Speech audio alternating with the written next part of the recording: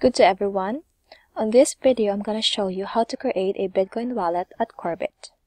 To create a Bitcoin wallet, you just need to go to www.korbit.co.kr and on the right side, just click on register.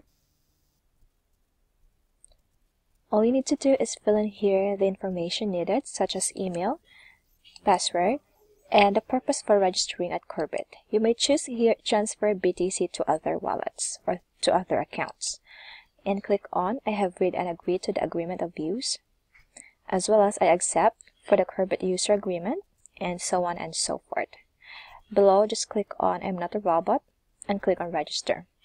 After registering you will receive an email confirmation with the link that you need to verify for your Korbit account and also an uh, identity verification and a phone verification that you need to do inside your Korbit wallet and after that you can go ahead and do the transaction like transferring funds from wallet to another as well as receiving uh, bitcoins.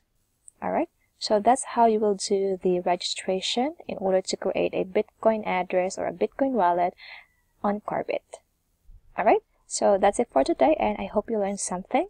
I'll see you again in my next video